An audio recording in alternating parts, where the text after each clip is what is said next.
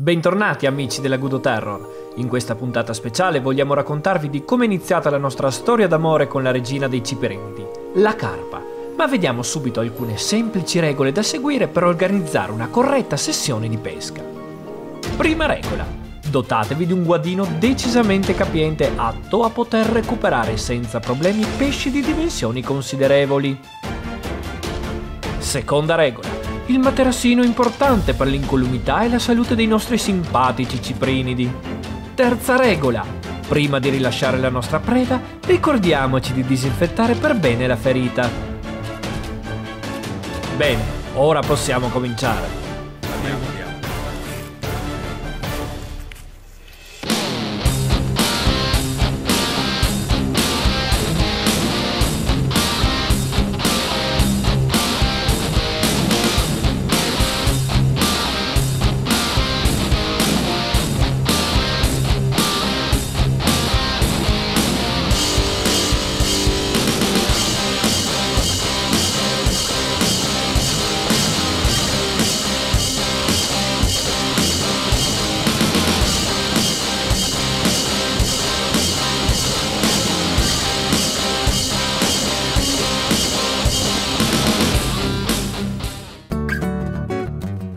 Ciao a tutti amici! L'avventura che vi vogliamo raccontare stavolta è quella di come abbiamo iniziato ad avvicinarci al meraviglioso mondo del carp fishing. Come tante altre nostre avventure, ci troviamo nel nostro Isonzo, uno fra i più bei fiumi d'Italia.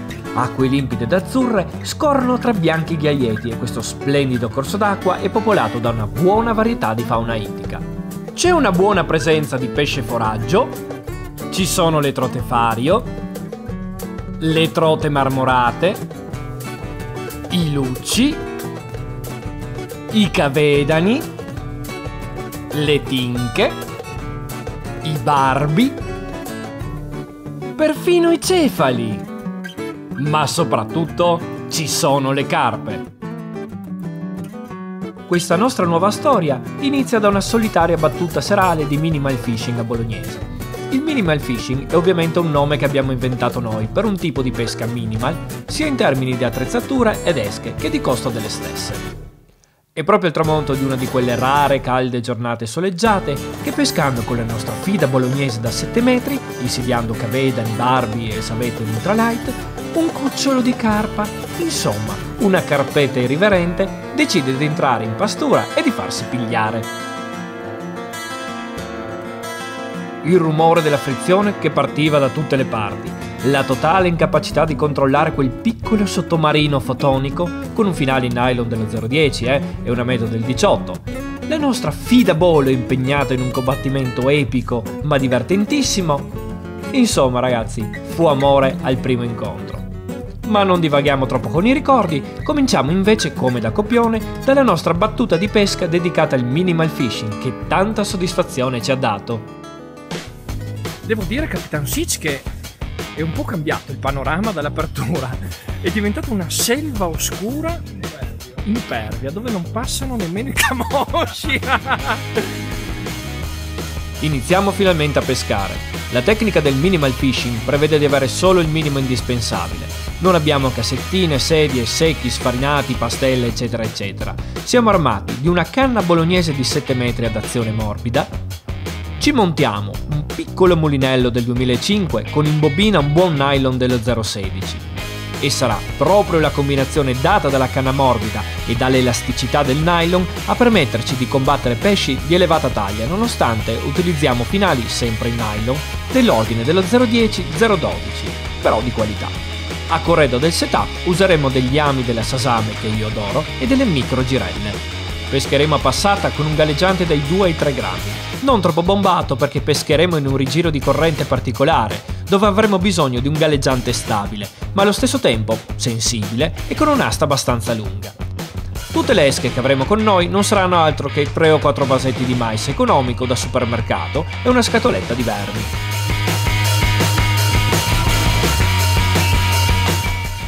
Iniziamo a pasturare un po' e iniziano subito le danze. Il primo pollo, come sempre, è un cavedano. qui un bel caffè cavedanticcio se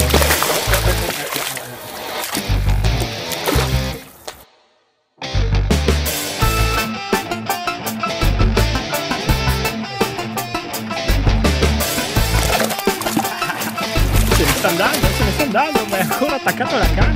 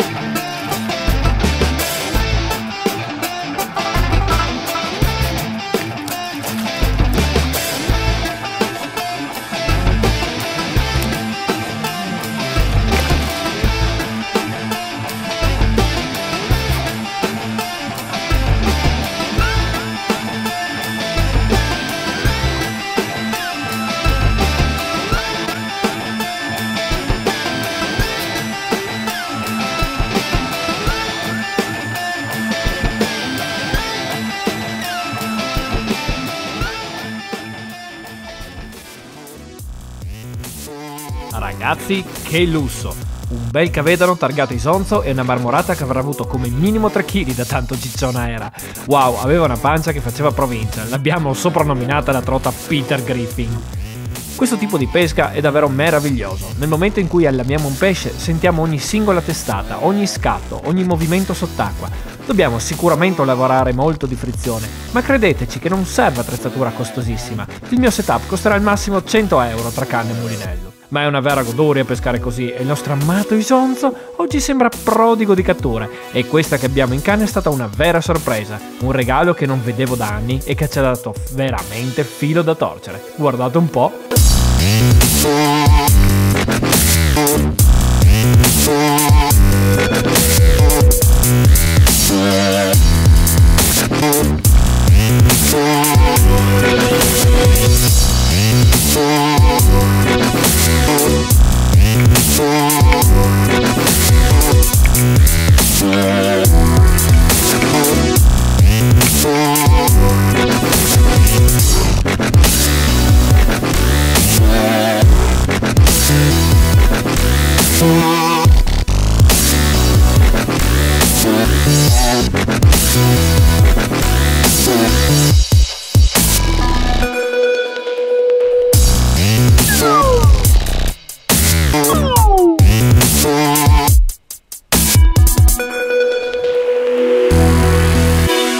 Che spettacolo! Chi frequenta l'Isonzo come noi può ben capire il mio stupore per una cattura del genere. È rarissimo pescare una tinca, soprattutto di questa stazza e di questa bellezza. Le tinche sono pesci che crescono molto lentamente negli anni, per cui questo magnifico esemplare di oltre 2 kg avrà come minimo 6 o 7 anni di vita. La giornata prosegue a ritmo frenetico e oggi sembra che tutta la popolazione ittica sia affamata e subito dopo arriva un'altra marmorata, ingannata dalla presentazione del nostro verme in passata. Per fortuna, pescando ultralight e con ami veramente ridicoli, nell'ordine del 18 più o meno di misura, possiamo rilasciare tranquillamente le nostre catture senza ledere i loro organi vitali in fase di slamata. Anche questo è il bello di questa tecnica.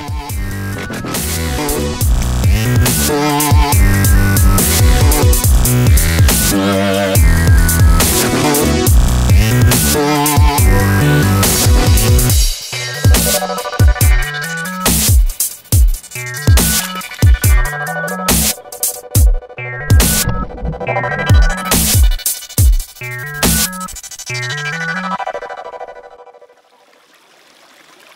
Che giornata amici, una battaglia dietro l'altra, anche se il tempo purtroppo sta peggiorando a vista d'occhio. La sera sta arrivando e mentre il nostro galleggiante sta facendo una delle ultime passate della giornata, arriva lei, la mangiata che stavamo aspettando.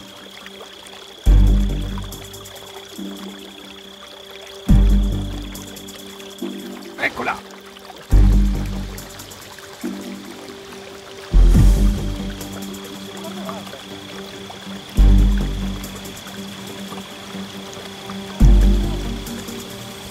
La carpa.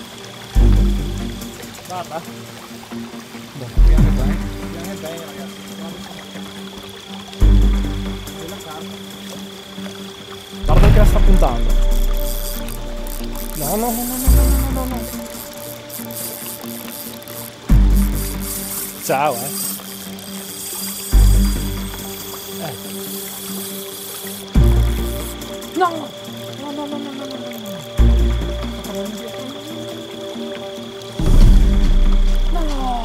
Staccata! No!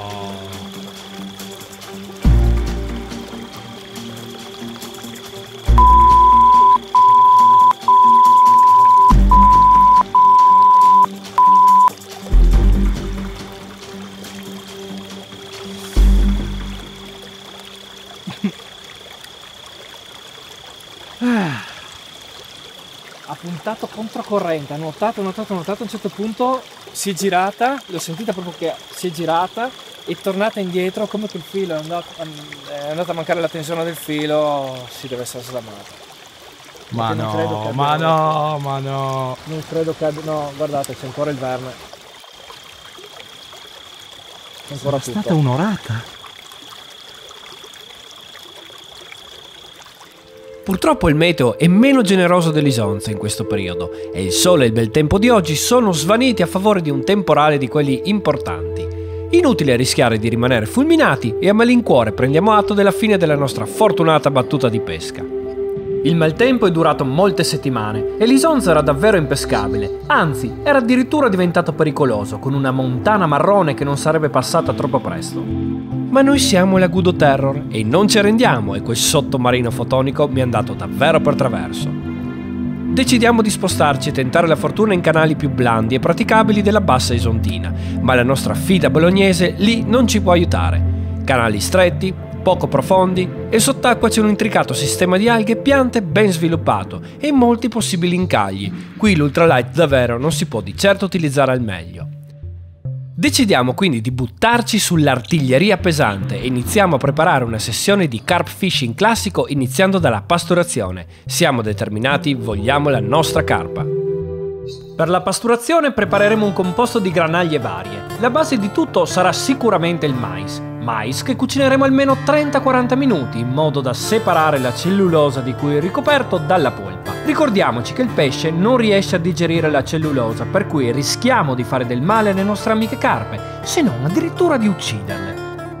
Ci aggiungiamo poi un mix di semi vari, a partire dalla canapuccia che potete recuperare in qualsiasi agraria. Io poi ci aggiungo anche semi di girasole nero e infine po' di semi di lino che doneranno un alone di viscosità importante al composto. Ci recheremo sullo spot e inizieremo a guardare come si comportano le nostre carpe, dove stazionano, quali buche sono le migliori, come si spostano, in modo da raccogliere più informazioni possibili sulle loro abitudini. Pastureremo per tre giorni di seguito, il quarto giorno pausa e il quinto giorno ci presenteremo armati di tutto punto.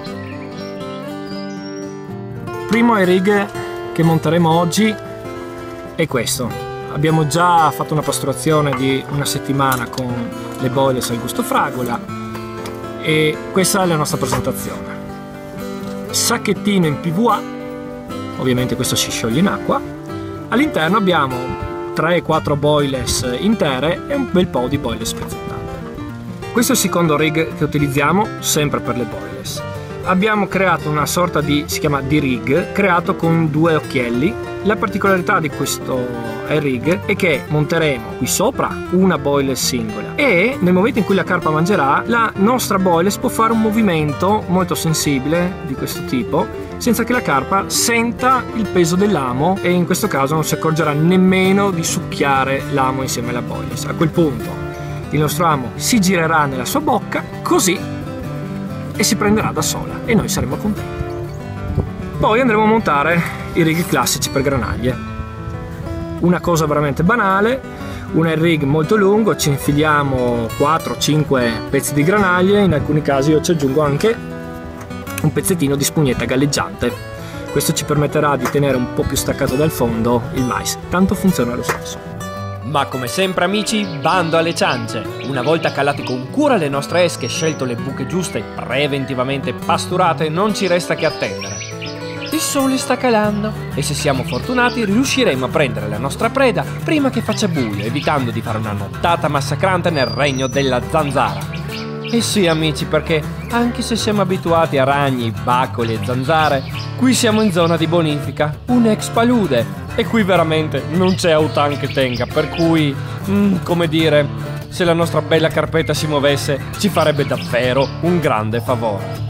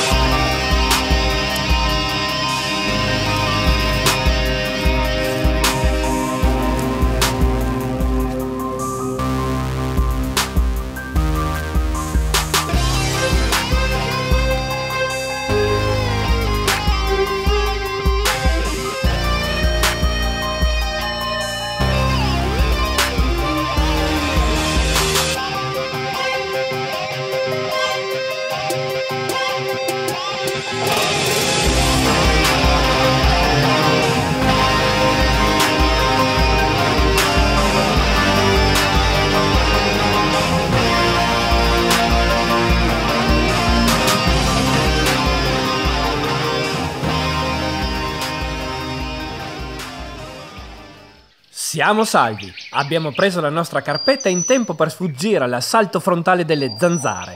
Ci è andata discretamente, ok, ma io spero ancora una bellissima carpa dell'Isonzo e abbiamo tanto tanto atteso finché l'Isonzo è ritornato ottimale e di nuovo, al tramonto di un altro magnifico giorno spensierato di pesca, siamo riusciti a catturare lei, la carpa che volevamo.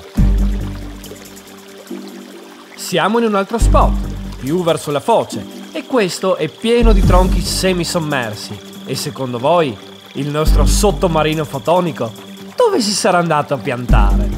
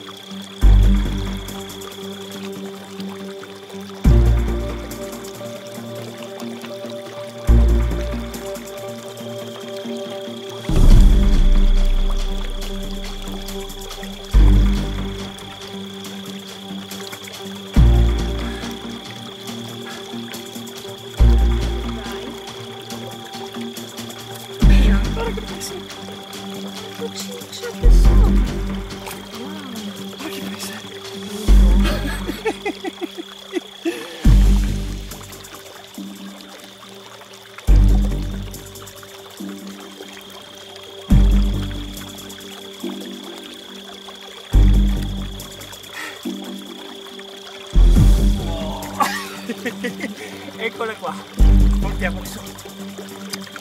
Piccolino.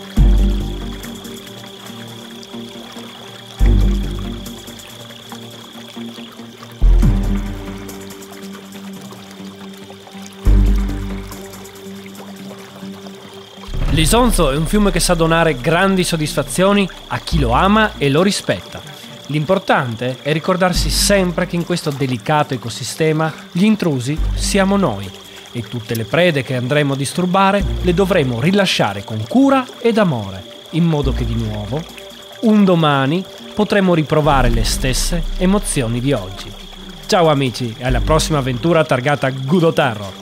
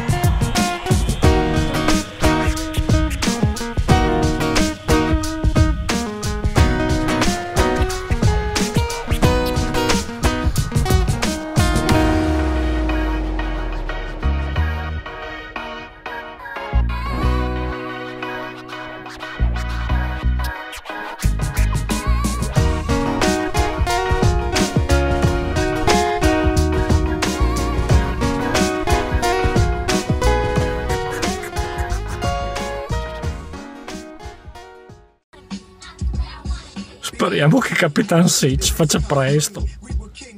Sentite cosa mi sta facendo ascoltare.